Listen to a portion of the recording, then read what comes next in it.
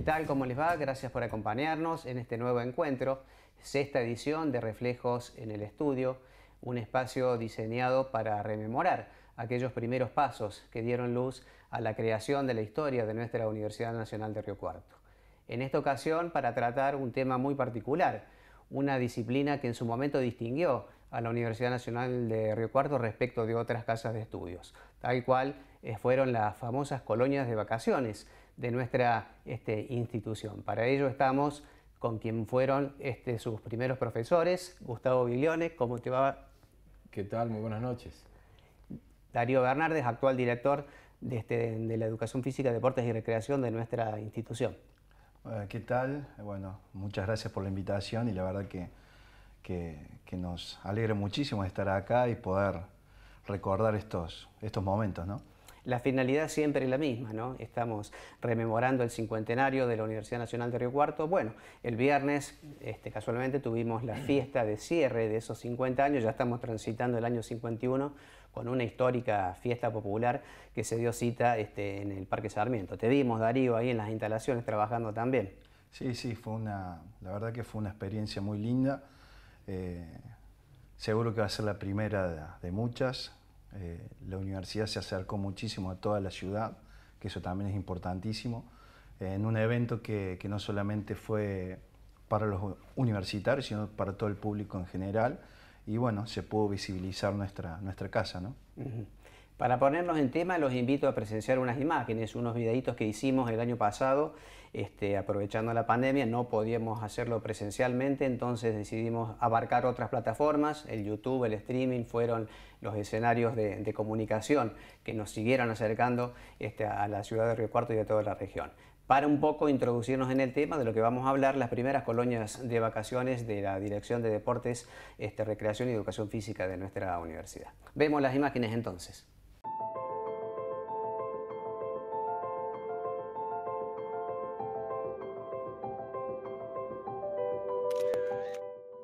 Después de haberse inaugurado el campus universitario a fines de 1972, se hacía imperiosa la necesidad de un espacio destinado a los hijos de docentes, no docentes y alumnos que concurrían a diario a la universidad en los horarios más variados y diversos. La carencia de infraestructura nunca fue un obstáculo. Las colchonetas, las pelotas, los arcos de fútbol, las sogas, las chozas y las meriendas eran las vedettes de un reino infantil marcado por la imaginación y el trabajo a destajo de los profes. Una vez finalizadas las actividades, los precoces universitarios de los años 70 recogían sus pertenencias y se disponían a hacer la fila para retornar a sus hogares en el flamante colectivo.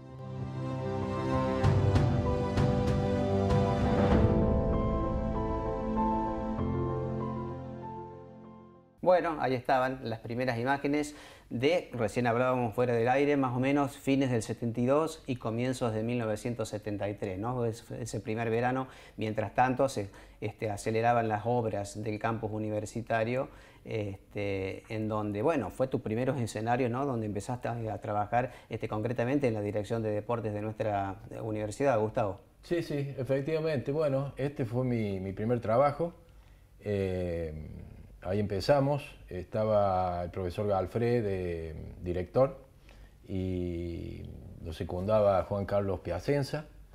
Y bueno, me invitaron a mí como a otros jóvenes profesores que nos habíamos recibido un año antes eh, a trabajar en, este, en este primer emprendimiento de la colonia de vacaciones, que no solamente fue la, primera de la universidad, sino que fue una de las primeras de la ciudad. Y bueno, fue una, una experiencia muy linda, eh, me trae muy buenos recuerdos. Eh, así que bueno, ahí, ahí empezamos en, un lugar en que nada que ver con lo que hay hoy en día, por supuesto. Eh, la universidad estaba en sus inicios a nivel infraestructura también. no había nada a nivel deportivo, solamente había una canchita de fútbol en el bajo, donde ahora están todas las instalaciones deportivas a nivel recreativo, la pileta y todo eso. Y bueno, y ahí se hizo la colonia, que fue muy, muy, muy linda, con mucha cantidad de chicos, eh, con muchas actividades y pocas instalaciones. Se utilizaba el río para, para bañarse con los chicos y, y de, se hizo inclusive un, un, campamento, una noche que durmieron allí. así que bueno, muy lindo recuerdo de aquella época. Darío, vos ya más cerca en el tiempo, este, alumno primero ¿no? del profesor Gustavo Viglione y este, has atravesado todo el arco, si se quiere, porque recién estábamos hablándolo, fuiste alumno, este, luego fuiste deportista representando a nuestra institución y ahora sos el actual director de la Dirección de, Deportes de Educación Física de la Universidad Nacional de Río Sí, la verdad que, ver las imágenes eh, te llenan de emoción, te, cargan pilas para, para seguir trabajando y, y ver eh, cómo ha crecido todo. Y sí, como decías vos, tuve la posibilidad de, de recibirme, de estudiar en la universidad pública, eh, de tener la posibilidad de representar la universidad en, los Juegos Universitarios, que son eh, unas instancias tan lindas de, de, poder representar a nuestra institución y después bueno, la posibilidad de ser deportista representando también a la universidad en distintas disciplinas, en softball, en fútbol. Y bueno, hoy en día como director de deporte y ver estas imágenes, la verdad que te llenan de satisfacción y te cargan de, energía para, para, seguir contribuyendo en esta, en esta tan rica historia. ¿no? Gustavo, vos en aquellos comienzos, también lo hablábamos fuera de aire, eh, contanos un poquitito cómo era la formación, dónde la gente estudiaba educación física, la Universidad Nacional de Río Cuarto estaba naciendo y empezó a contar ya con planta docente. ¿Vos dónde te capacitaste? Bueno, eh, nosotros nos recibimos en el Instituto Superior de Ciencias, que fue el instituto a nivel terciario que inició, digamos, fueron los cimientos de lo que después fue la universidad. Y mm, después justamente en ese año, el año posterior de, que terminaron las actividades del Instituto de Ciencias, eh, se inició la, las clases en la universidad. Hubo un, año de, un lapsus ahí eh, de entre el profesorado del instituto y el profesorado de la universidad y después ya este, empezó la, carrera propiamente dicha eh, del profesorado de educación física dentro de la Facultad de Ciencias Humanas aquí en nuestra universidad. Vos, Darío, nos comentabas recién, te formaste ya desde, desde lleno dentro de las instalaciones, ya con una carrera, ya con historia, ¿no? Tal cual fue educación física, fue una de las primeras disciplinas este, que aparecieron en nuestro campus. Sí, sí, sí, tuvimos en la, etapa que, tengo como formación en la universidad, en los primeros tres años te recibías de, maestro de educación física y a los cuatro años te culminabas la carrera de, de profesor de educación física.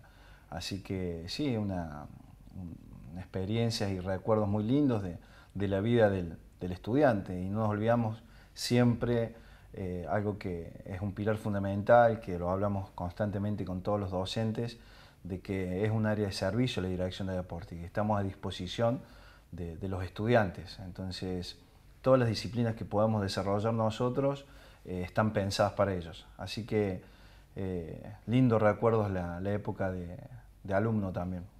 Dijiste una palabra crucial, un área de servicio, ¿no?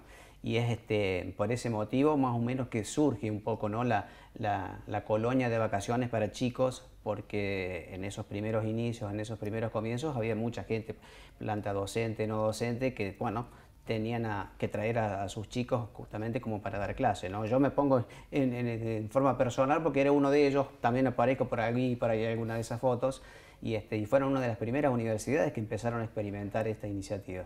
Sí, sí, sí.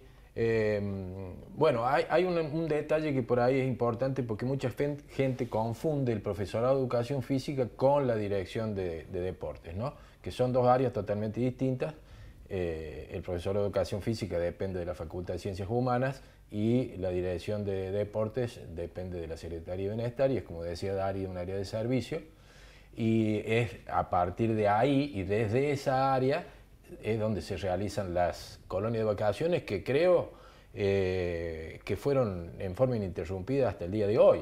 O sea que 50 años de, colonias de vacaciones, con esta que se ven las imágenes eh, en sus inicios, y, bueno, eh, justamente lo que vos me decías, se crea para darle cabida a un grupo de niños que fue muy importante, hijos de docentes, no docentes, alumnos y también gente de la comunidad de Río Cuarto que también este, venían y siguen viniendo hasta el día de hoy. Así que fue un, inicio muy, muy lindo y, bueno, y los frutos están permanentemente dados anualmente. Nos decías también que te habías identificado en una de las fotos. ¿Con qué otros compañeros te encontraste? Sí, sí, hay varias fotos que estoy ahí. Es un flaco Pelo largo, bueno, ese era yo. este, y bueno, como te decía, ahí está en, el video, está, ahí está. El profesor este, Galfré, que era el director, este, el profesor Juan Carlos Piacenza, eh, Silvio Pérez, eh, un compañero mío que después se fue joven a, a Trelew y sigue allá, eh, Norma Medina, y bueno, esos son los, los que me recuerdo en este momento. Una enorme responsabilidad tuya, ¿no, Darío, también de continuar con este importante legado ya de medio siglo de vida que estamos teniendo en materia de educación física, ¿no? Sí, sí, la verdad que año a año, en el momento de, trabajar en, la, en el armado del grupo, en las coordinaciones y en el armado del cuerpo docente que va a trabajar, eh, uno de los objetivos principales siempre es eh, la predisposición, la responsabilidad, el compromiso con los años que venimos desarrollando eh, estas escuelas de verano, las colonias de vacaciones. Año a año eso te va, te va poniendo nuevas etapas, nuevas metas para cumplir y, se han ido desarrollando ininterrumpidamente. Y algo muy lindo, como que decía Gustavo recién, la universidad no solamente era para para docentes y no docentes de nuestra universidad, sino también para toda la comunidad. Y dentro de la, de la ciudad ha tomado un renombre eh, la escuela de verano, la colonia de vacaciones de la universidad. Y eso año a año hay que ir eh, siguiendo, desarrollándolo, eh, que se mantenga activo. Y bueno, eso la verdad que es un compromiso muy grande, una responsabilidad muy grande, pero también es muy importante el trabajo que hacen los docentes las familias no dejan lo más preciado que tienen. Y es un compromiso y una responsabilidad muy grande para nosotros eh, trabajar con ellos. Así que lo disfrutamos mucho, pero es un compromiso muy, muy grande y muy lindo también.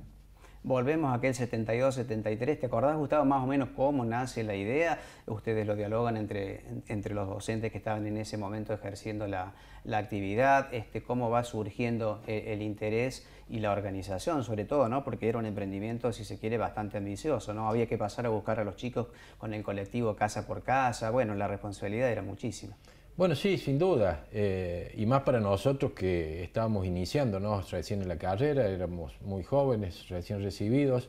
Eh, toda la parte organizativa recayó en, en, las autoridades de ese momento en la dirección, que era, como te decía, el profesor Alfred, el profesor Piacenza principalmente. Eh, los demás éramos este, todos jóvenes docentes que hacían sus primeras armas, o sea que nosotros en la parte organizativa previa no, no, no estuvimos inmersos. Eh, sí, por supuesto, en la parte eh, de realización, en las actividades y todo eso. Eh, pero sin duda que fue un emprendimiento muy bueno, novedoso, digamos, para la época. Y, bueno, y recayó muy bien en, todo el ámbito de la universidad e en la ciudad, porque fue algo prácticamente inédito. Y, bueno, y los frutos fueron, fueron dando permanentemente desde aquella época hasta el día de hoy. Ya desde aquel entonces se empezaba a trabajar con distintas franjas etarias, los chicos de 6 años, los de 8, los de 10, los de 12, o estaban todos juntos, yo no recuerdo particularmente bien cómo era este, el tema, pero este, sí, me recuerdo de haber jugado a la pelota y de hacer ejercicio con, con, chicos de otras edades, pero más o menos se los dividía por edad o era más o menos todo en aquella época un vamos todos juntos, este, más que todo eh, en la parte recreativa. No, no, no, eh, estaba dividido, estaba dividido este, por edades cada, cada grupo tenía un docente a cargo, o dos, depende de la cantidad de gente de cada grupo. Eh, y había algunas actividades que sí, que se juntaban, por ejemplo a la noche, el fogón y todas esas cosas, eh, el, día del campamento, bueno, eso este, se hacía todo junto, pero los, estaba individualizados los grupos por franjas etarias a partir de los 6 años hasta los 12, 13 años, en dos años era cada grupo, 6, 7, 8 y 9 y así sucesivamente. La educación es un proceso de transformación continua, Darío, ¿no? La educación física obviamente no es la excepción. ¿Qué, nuevas modalidades se han ido incorporando con el tema de los años en la enseñanza de la, educación física? Y también en la parte recreativa, justamente tratando con los niños. No, eh, fundamentalmente se mantienen las cuestiones de etarias que decía los grupos. Eh, la escuela de verano, la colonia de vacaciones, nace como la posibilidad de brindarles a los chicos, a nuestros estudiantes, a los estudiantes del colegio primario, la posibilidad de que desarrollen actividades que durante el año no son eh, las que desarrollan normalmente. Entonces, una de las áreas más fuertes es la actividad en la vida en la naturaleza. Entonces, uno de los objetivos relacionados en la escuela de verano es la actividad en vida en la naturaleza, sumado al trabajo de la parte de natación, ¿sí? Que como veíamos en sus principios la universidad estaba creciendo, la universidad fue creciendo mucho, tenemos una pileta de natación grande, una pequeña, donde los niños van haciendo sus primeras armas en lo que es eh, la natación, algo importante para todas las familias que traen su hijo y dicen queremos que aprendan a nadar, si bien son pocos meses de trabajo, pues son dos meses y medio que tenemos, los docentes hacen un trabajo muy lindo, el chico que le tenía miedo al agua se va sin tener miedo al agua, eh, el niño que, que, no sabía nadar empieza desarrollando una técnica de nado y puede terminar aprendiendo a nadar un estilo. Así que bueno, eh, esas son las cuestiones que han ido evolucionando con respecto a las, a las actividades. Veía las cuestiones del fogón, que son también actividades que se están perdurando en el tiempo y, y son muy, genera un impacto muy lindo en los chicos. Eh, son recuerdos que no te los olvidas. Así que... Y los separan un poquito, ¿no? Del, teléfono, de los jueguitos, este, cosas que en aquellos años obviamente no, no, estaban. Sí, fundamentalmente por eso las actividades en vida en la naturaleza eh, son muy importantes en la, en la, etapa de la escuela de verano. Si bien desarrollamos actividades deportivas que nos sirven de llamadores para, para nuestras disciplinas que podemos desarrollar después durante el año, eh, el contacto del, niño con la naturaleza es fundamental en la etapa esta de las escuelas de verano. Lo decíamos ahí recién en el micro, Gustavo, la universidad no tenía, carecía de, de una infraestructura que tiene ahora. Había que entonces poner un poquito más este, en juego la, creatividad, ¿no? y ahí nacía justamente más el, el, espíritu del juego. Veíamos los cajones, veíamos las sogas. Este, ¿Qué recordas de aquellos primeros tiempos? ¿Cómo se las ingeniaban ustedes para este, estar, este, que ese tiempo que, tenían con los chicos no se perdiera y fuera bien dinámico, ¿no? Y sí, sí, justamente, había que tener mucha inventiva y creatividad para que en base a los pocos elementos con que contábamos, poder realizar actividades acordes a, lo que necesita un niño en esa edad. Y, bueno, la verdad que fue una experiencia muy, muy, muy buena, este, que con tan pocos elementos, fundamentalmente la ausencia de una pileta, que eso eh, hoy en día es fundamental para la enseñanza de la natación, eh, podíamos hacer muchas actividades recreativas, utilizamos eh, bueno, la cancha de, fútbol para los niños era, era algo importante, pero después teníamos toda la parte del bajo, que era totalmente virgen, en donde se hacían muchas caminatas, este, búsquedas del tesoro, bueno, actividades como de, muchos juegos recreativos, y se usaba mucho también el tema del cajón, la colchoneta eh, y, todas esas cosas que, que, bueno, que en aquella época eran muy normales y más que todo en los inicios eh, de la colonia de la universidad donde teníamos tan poca infraestructura. Los campamentos y las chozas eran una experiencia realmente única. Sí, sí, sin duda. Eh, bueno, la universidad tampoco contaba con, con carpas y eso, o sea que los chicos que tenían la traían, otras se consiguieron, eh, se hacían chozas, ahí inclusive se ve en el, en el video este, una choza en un árbol caído, que se usó eso para hacer una choza y era un lugar este, de encuentro eh, muy lindo también para los chicos. ¿Cómo es, Darío, este, enseñar la práctica deportiva y educación física en un niño, separándola de la que se da en un, en un adulto? Fundamentalmente a través de la, de la recreación, de lo lúdico. Eh, se desarrollan actividades eh, predeportivas que se les llaman, donde los niños sin, sin tener noción real del juego competitivo van haciendo las primeras armas a través de, de juegos recreativos, de lo lúdico. De esa forma lo vamos incursionando en actividades deportivas. Eh, si bien el objetivo fundamental de la escuela de verano no es ese, eh, lo, lo, hacemos, lo desarrollamos para despertar en cada niño esa sensación de, del espíritu deportivo, lo podríamos llamar. Pero eh, la verdad que estoy conmovido con las imágenes porque si bien estamos hablando de muchos años atrás, hay muchas actividades que perduran en el tiempo y, son muy buenas. En el hecho de los campamentos, si bien ese campamento fue en la ciudad, nosotros tuvimos con el transcurrir de los años la posibilidad de desarrollar campamentos en la universidad, acantonamientos en los gimnasios en el mayor, en el menor, campamentos en la zona, en Santa Rosa, en Alpa Corral, eh, y bueno, muchas actividades de las que en sus inicios se hacían hoy perduran. El hecho de las construcciones rústicas, llamadas de esa forma, eh, en lo que son las chozas, las camillas para llevar un, un, herido y demás, son actividades lindas que te, que te, que te traen a la realidad que hoy por ahí la tenemos un poco más, más, más distante por las cuestiones de, de la tecnología, así que eh, vuelvo a insistir y, estoy feliz de que podemos desarrollar una escuela de verano y brindarle estas cuestiones a, los, a nuestros niños. Para que, para que esta actividad perdure durante 50 años ha sido necesaria una buena base, sin duda que los cimientos han sido muy buenos. ¿no? Este, Gustavo, hay definiciones de educación física, hay muchas, ¿no? Es más, dicen muchos que no hay que definir la educación física, sino hay que sentirla y vivirla, hay que experimentarla. Pero ¿con qué, este, ¿con qué concepto te quedas? Un concepto integral de lo que es la disciplina de la educación física este, en el ser humano, tanto en niños como en adultos.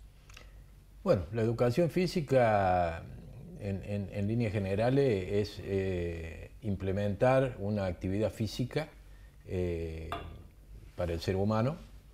Eh, en el caso de los niños, también significa un amor a los niños.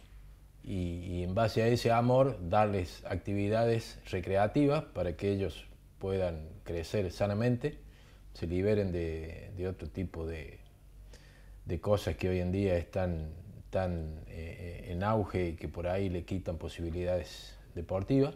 Y, en los adultos eh, también tener una vida sana eh, a nivel deportivo creo que es algo fundamental en la vida de un ser humano. Para ir cerrando, Darío, ¿cuáles serían los desafíos, los próximos compromisos este, que tiene la Dirección de Deportes de, nuestra Casa de, Altos Estudios? Y en lo que respecta a las escuelas de verano, seguir contribuyendo y desarrollando la, escuela de verano. Eh, la pandemia no hay que dejarla de lado, fue un, mm. obstáculo que, hizo una interrupción en el tiempo de desarrollo de la escuela de verano. El año pasado volvimos a la presencialidad, con lo que significó, con los cuidados, con, con el trabajo que se tuvo que hacer desde lo organizativo, las familias cómo colaboraron, los docentes, los niños, verlos subir a los transportes con los barbijitos y el alcohol sanitizante y todos los cuidados que tuvimos que tener en cuenta, eh, fue un año distinto. Esperemos que esta temporada que viene eh, lo podamos hacer con mayor normalidad y sin lugar a dudas que, ver estas imágenes nos van a, reflotar de, seguir creciendo, de seguir mejorando esta escuela de verano, eh, que no podría ser de otra forma sin tener el apoyo de, institucional, ¿no? de las autoridades que, apoyan estos proyectos, que apoyan para, brindar recursos y que, podamos contar con lo mejor. Contamos con ambulancia en el predio, eso a las familias le da una tranquilidad. Mucha seguridad. Mucha, mucha seguridad. Cuando viajamos vamos en nuestros colectivos que estén totalmente equipados. Entonces, eh, eh, la contribución de las autoridades para el desarrollo de estas actividades son muy buenas, esperemos seguir trabajando en eso. Y, bueno, el deporte es integración, es prevención, es salud. Y bueno, dentro de la dirección del deporte eh, trabajamos contra esos, en esos lineamientos que son, creo que son muy importantes. Gustavo, ya estamos finalizando, nos decías recién ¿no? que, que, que, se debía como una especie de homenaje al profesor Galfré, ¿no? un reconocimiento por lo menos en algunas de, de la estructura física que tenemos hoy, que, que cuenta la Secretaría de Deportes de nuestra universidad, este, una especie de ponerle el nombre a algún rinconcito del campus, ¿no? Sí, sin duda, yo creo que se lo merece. El profesor eh, Jorge Luis Galfré fue el primer director de la Dirección de Educación Física y Deporte de la universidad, eh, fue un docente destacado de la ciudad y fue el iniciador del softball en Río Cuarto, no solamente en la universidad. Y, o sea que creo que merece un reconocimiento a poco más de un año de su fallecimiento y creo que bueno, está la idea de una de las canchas de la universidad darle su nombre y creo que bien merecido lo tiene. Por supuesto que sí. Les agradecemos el tiempo disponible, seguramente podríamos estar charlando mucho más, pero bueno, siempre nos acota la, este, la, programación. ¿no? Así que bien, será hasta una próxima instancia cuando nos vuelva a convocar este, un tema tan, tan lindo, tan importante como lo es este, la, la actividad física en el ser humano, tanto en niños como en personas mayores. Muy bien, muchas gracias. Muy lindo recuerdo y reconocimiento. Muchísimas gracias por la invitación, ha sido un placer. Por nuestra parte, nos volvemos a encontrar la semana próxima con más historias de la Universidad Nacional de Río Cuarto en sus ya 51 años de vida.